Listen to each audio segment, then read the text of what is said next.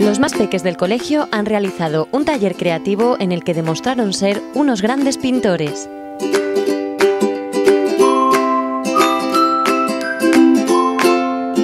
Una vez más, los peques de dos años empezamos con los talleres. Esta vez empezamos con el color amarillo. En esta actividad, además de trabajar el color, son muchos otros objetivos los que nos planteamos, como el esquema corporal, la creatividad y la higiene. Los niños aprenden a través de sus experiencias. En este taller se les deja que indaguen y descubran qué hacer con los pinceles, con las esponjas, con el color, incluso con su cuerpo. Y es que nuestros pequeños son unos grandes artistas.